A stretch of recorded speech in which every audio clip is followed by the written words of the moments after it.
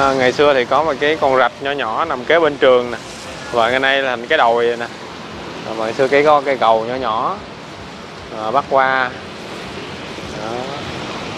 và cái con rạch đó sẽ đi theo này đi thẳng ra à, kênh tàu hủ luôn. Đó, nhưng mà ngày nay thì à, đã không còn nữa. Mình qua chung cư cũ nè. à, chợ à, ngôi chợ cũ. À, chợ cũ cầu kho ngày xưa đây là ngôi chợ à, nhưng mà ngày nay thì à, à chợ đã không còn nữa ha. Ở trên thì có một vài hộ ở thôi. À. Này và chúng ta nhìn qua bên trái. À, đó là hình ảnh của nhà thờ cầu kho. À, nhà thờ phát diệm năm xưa. À, sau bao cuộc đổi thay. Thì à, nhà thờ hôm nay cũng rất là kiên cố rồi. Đến có hẻm số 84 có những con hẻm mà ngày nay à, chúng ta không thấy nữa. Ờ, nên thành ra à, nếu cô chú anh chị à, có những con hẻm nào ở khu vực này cho em xin cái comment ha, để em đi đến đó để xem sao. Ờ, em xin chào tất cả cô chú anh chị và các bạn. À, để tiếp nối hành trình ngày hôm nay ở khu vực cầu kho à, nhân cái chuyến đi bộ dạo vòng vòng buổi tối đi à, tập thể dục rồi à, nhân đó thì em cũng à, gửi đến cô chú anh chị và các bạn những hình ảnh của Sài Gòn về đêm. À, và chúng ta đang thấy à, trước mặt đó là đường à, à, Võ Văn Kiệt ngày xưa là bến Trương Dương. À, và hôm nay à, trời mưa rất là lớn. À, lúc nãy thì à,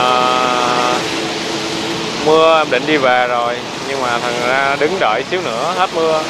Rồi à, sẵn trên đường đi về thì em chia sẻ cùng các anh chị và các bạn những hình ảnh con đường à, phát diệm à, phát diệm lúc trời mưa ha. À, và nơi đây chúng ta đang đứng là hẻm cuối hẻm số 4 hẻm 391 hẻm ốc năm xưa đó, phố ốc năm xưa đó. Và cuối hẻm có một cái quán cà phê và ngay đây có một cái chung cư 518 Võ Văn Kiệt. Đó. và đây là đầu hẻm nè đây là chung cư năm 18 à, cũng có một số hộ đã dời đi do cái à, sự sụt lún của chung cư à, hôm bữa đó. à, rồi hành trình chúng ta sẽ bắt đầu à, đi về cái à, đường phát diệm à, à, Trần Đình Xu à, để gửi đến các anh chị và các bạn những hình ảnh này. À, hôm bữa em có đi rồi nhưng mà à, chưa hết đoạn đường. Thì hôm nay thể theo lời yêu cầu cũng như lời hứa à, em sẽ đi dạo một vòng gửi đến cô chú anh chị. À, thì à, theo thẳng hướng camera đây chúng ta sẽ đi về chợ à, Hòa Bình à, một cái ngôi chợ ở quận 5 và có cái hãng nước ngọt Trương Dương ở khu vực này. Và ngày xưa với những cái dãy nhà ven sông à, dãy nhà tạm à, ngày về nay đã không còn nữa ha. À, à, đổi lấy những hình ảnh của à, cái Sài Gòn à, cái đại lộ à, Võ Văn Kiệt. À, nhìn xa xa chúng ta thấy có cái building ở bên đường Bến Nhân Đồn đó. À, những cái à, chung cư cao cấp.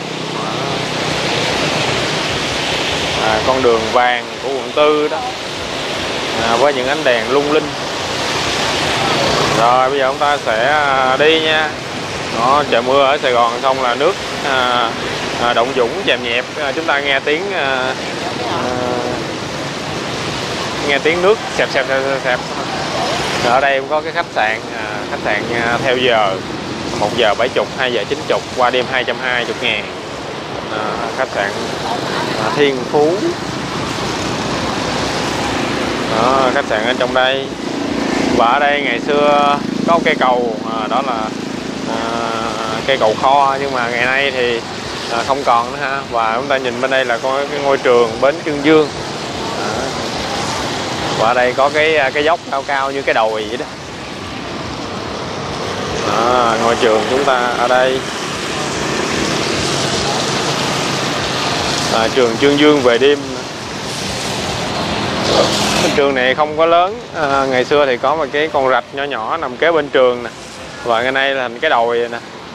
Và ngày xưa cái có cây cầu nhỏ nhỏ à, bắt qua. Đó. và cái con rạch đó sẽ đi theo này đi thẳng ra à, kênh tàu hủ luôn. Đó, nhưng mà ngày nay thì à, đã không còn nữa. Đó, mưa con một số xe bị hư đó.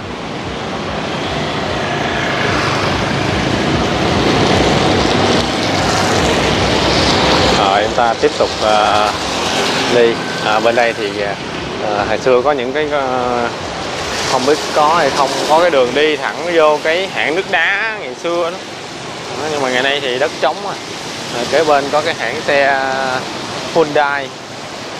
À. và bến Trương Dương ngày nay à, chúng ta nhìn thấy rất là lạ. À, nếu mà cô chú anh chị đã xa Sài Gòn rất là lâu thì mình sẽ không nhìn ra được cái bến Trương Dương này. Ở ngay khu vực này thì có rất là nhiều quán nhậu ở ờ, ờ, ở đầu hẻm đầu đường.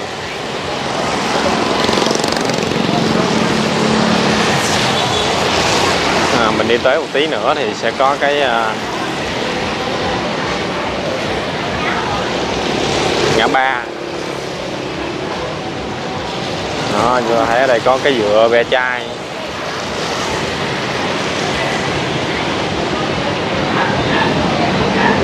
Đó mình thấy người ta quăng đồ ra nè. Rồi quăng lên xe tải đó. À, rồi đi à, đến những cái dừa dựa lớn hơn nữa.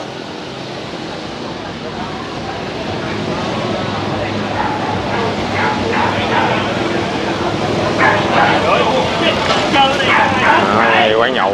À, trời mưa mà đi nhậu là à, đúng bài luôn ha. Mát mẻ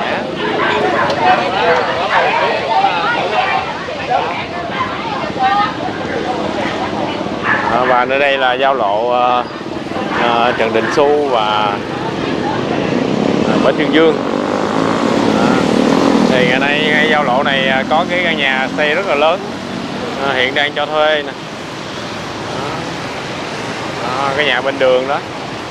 À, chúng ta sẽ à, qua đường nha. À, để chúng ta nhìn qua bên đây một cái hình ảnh của cái chung cư rất là cũ.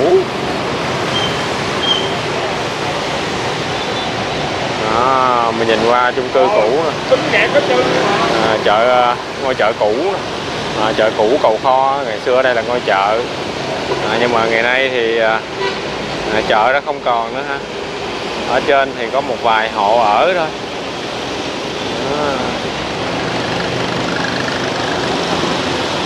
cũng rất là cũ kỹ à rồi ở dưới thì có một số uh, cửa hàng uh, bán uh, ốc rồi bán kem rồi bán bánh mì.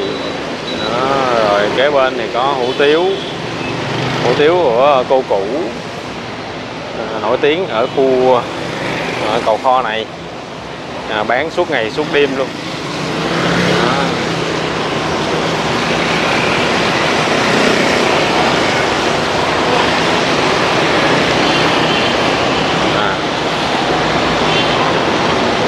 nguyên cái dãy à, chợ cũ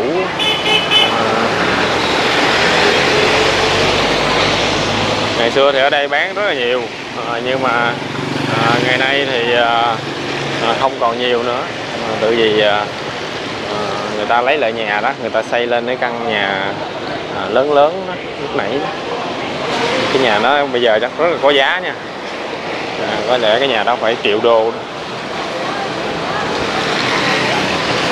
Triệu đô là phải 22 tỷ phải triệu mấy? Nhà cũ cũ cũng đã là 25 tỷ à. Bây giờ Sài Gòn rất là à, giàu có. Đó. và đây là hẻm nước đá nè. À, thông vô cái hẻm nước đá ngày xưa đó. À, mà cô chú đã từng comment và chia sẻ nè nhưng mà cái thời của em thì ờ, hãng nước đá cũng đã dẹp rồi. Và và bên đối diện hẻm hẻm nước hẻm nước đá thì có một cái quán nhậu và rạng biển.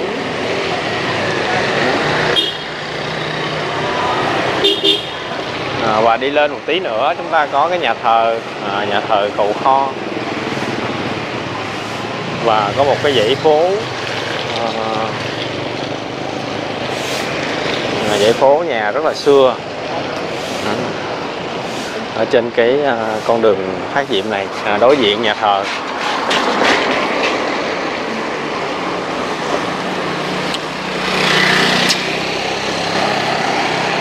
Này và chúng ta nhìn qua bên trái à, đó là hình ảnh của nhà thờ cầu kho à, nhà thờ phát diệm năm xưa à, sau bao cuộc đổi thay.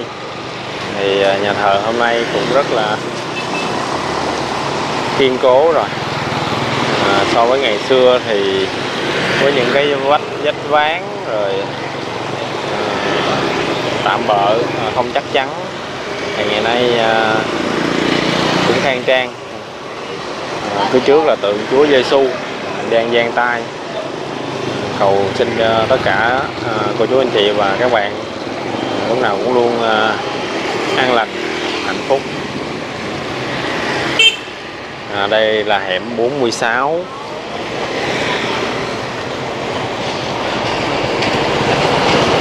hẻm 46 để thông ra đường à, à, Quỳnh Quang Tiên Hồ Hảo Hớn ngày xưa đó.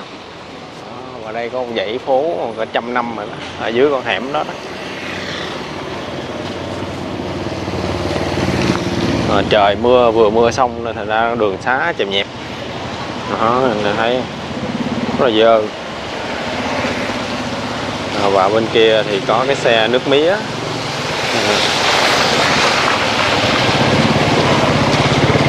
bán ờ, bán mía cây mía sỉ đó cho những cái xe nước mía nhỏ nhỏ khác và họ cũng có bán lẻ nữa. Có nước văng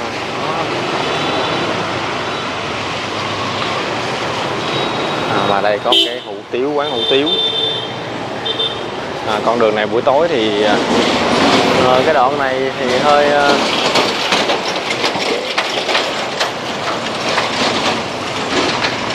hơi bị ờ, nước dơ. Do nó đường xá không có bằng phẳng đó.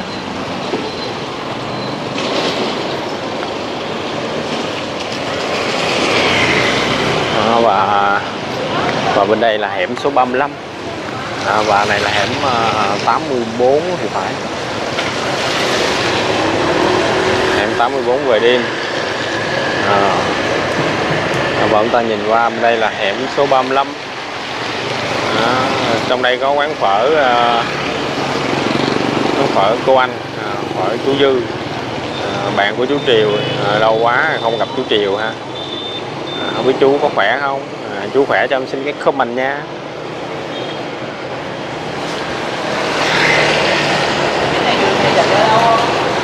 À, thông qua những cái uh, video này à, em cũng uh, nhận lại rất là nhiều cái comment của cô chú anh chị. À, với những cái comment uh, đầy tình cảm đó thì à, em cũng uh, sẵn sàng đi đến những cái con hẻm những con đường uh, để chia sẻ cùng cô chú anh chị. Thì nhận đây em cũng xin uh, kính chúc uh, tất cả cô chú anh chị uh, lúc nào cũng luôn uh, vui vẻ và mạnh khỏe. À, và bên phải chúng ta đó là số nhà 72 đó, 72 và có con hẻm đi thẳng qua à, không phải thẳng mà à, lòng vòng lòng vòng à, trong cái xóm này. À, mình sẽ ra đường Quỳnh Quang Tiên Hồ Hảo Hớn đó. Ngày xưa nghe cô chú anh chị chia sẻ thì đây là cái à, à, xưởng cưa gì đó cái chạy cưa gì đó à, xưởng gỗ gì. À, nhưng mà à, ở à, em thế hệ sau nên thành ra những hình ảnh này à, không có được rõ cho lắm. À, và ngày nay thì à, không còn nữa ha. À, và bên trái thì đó là số 51 6 55 đối với con đường này về đêm thì không có nhiều người đi bộ. Oh mình nhìn qua hẻm số 55 nè. À, trong đây có một cái à, nhà cho thuê nữa à, ờ, giống như là cho thuê giống như là à, apartment vậy đó. Một căn hộ cho thuê cho thuê dài hạn.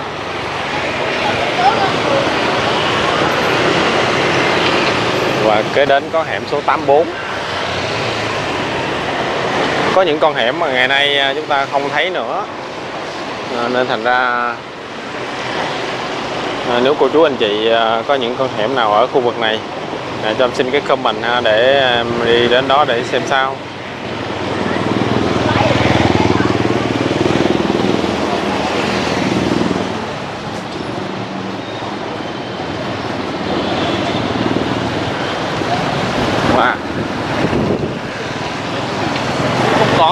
à, và trước mặt chúng ta đó là đường à, à Trần Hương Đạo.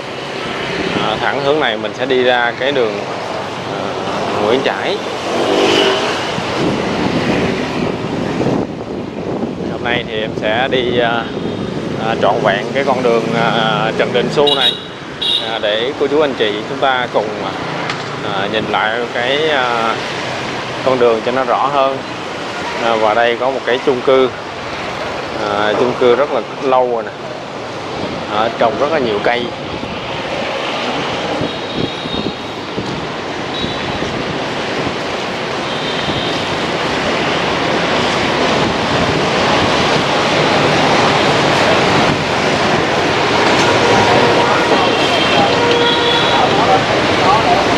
Rồi bây giờ chúng ta sẽ qua đường nha. À, đây là giao lộ Trần Hưng Đạo và bên tay trái chúng ta đó là trường à, trường cầu kho năm xưa. À, và bây giờ à, à, buổi tối nên thành ra mình không thấy rõ cái khung cảnh của ngôi trường. Và đi tới một tí nữa thì có cái cổng trường. À, ngày xưa thì à, đối với ngôi trường này thì cái cổng nằm bên trường bên đường à, Trần Đình Xu đường Phát Diệm. Ngày nay thì cái cổng chính nằm ở đường Trần Hưng Đạo. À, và đây là cái à, à, ngã ba à, cao bá nhẹ và à, là trần đình xu. Và thẳng hướng này chúng ta sẽ đến à, đường à, cống quỳnh. À, và đây có một căn nhà rất là xưa à, mái tôn tạm bợ. À, và nhìn qua trái thì là cổng chính của ngôi trường. À. rồi chúng ta tiếp tục. Ở ngay khúc này có một cái uh, quán sữa. Nơi bán uh, sữa tươi cũng rất là độc đó nhưng mà hãy đứng uh, vẫy chào. Uống sữa không? À, cô chú anh chị chúng ta có ai uống sữa cho xin cái comment rồi à, bữa sau mình về Sài Gòn à, người ta sẽ bưng sữa ra ha. À, buổi tối có anh hút rác à, làm vệ sinh đường phố. đó có mưa thì, thì họ sẽ vất vả hơn.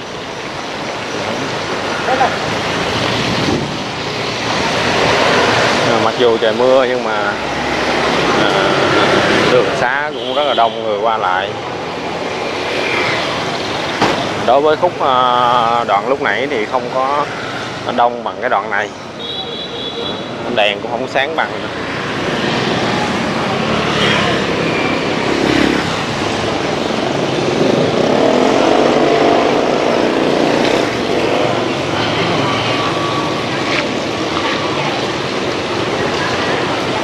Rồi, ta vừa đi qua hẻm ờ, số 85 à, và đây bánh mì liên thái nè. À, lúc trước em có review bánh mì liên thái cho bà con mình xem đó. Bánh mì heo quay à, rất là nổi tiếng.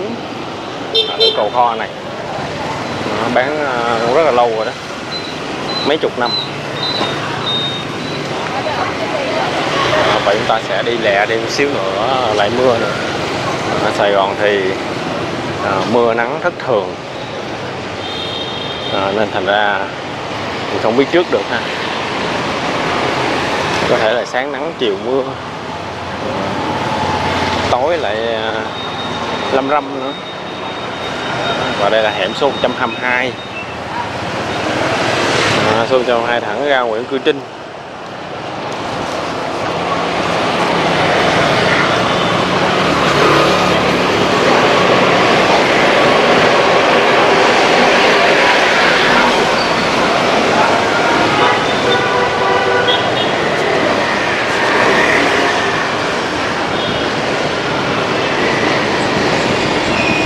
và đi tới tí nữa thì mình có cái à, cái à, chợ sở rác. Con khỏe con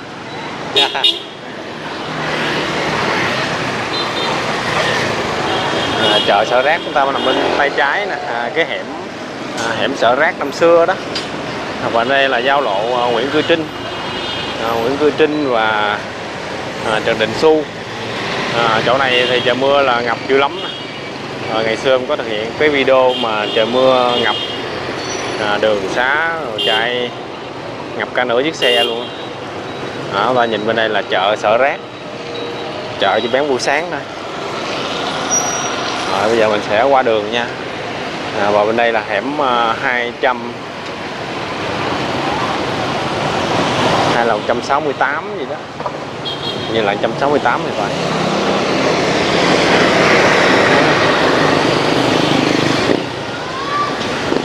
Qua qua đường qua đường qua đường.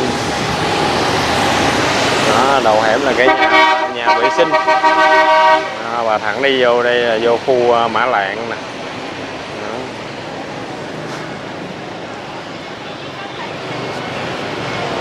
Rồi chúng ta sẽ nhìn lại con đường chúng ta vừa đi qua đó.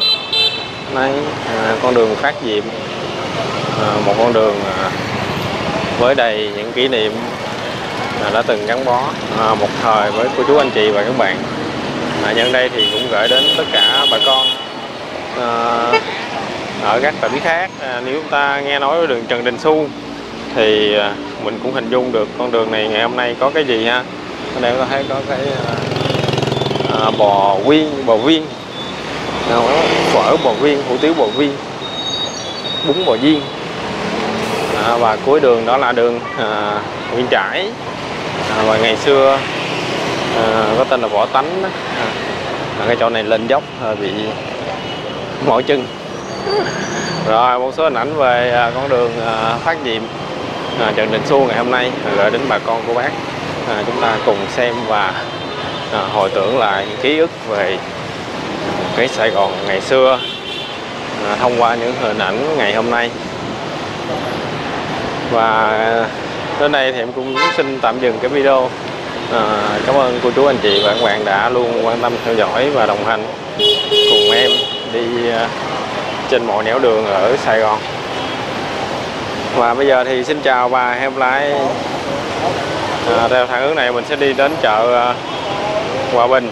Hỗ trợ Thái Bình. À, và theo hướng này mình sẽ đến đường Cộng Hòa à, Nguyễn Văn Cường ngày nay à, đến con phố thời trang à, bên kia là cái uh, buffet Ngọc Thủy ngày xưa nổi tiếng à, nhưng mà ngày hôm nay thì à, sau à, ba bốn đời chủ thì ngày nay đóng cửa luôn rồi.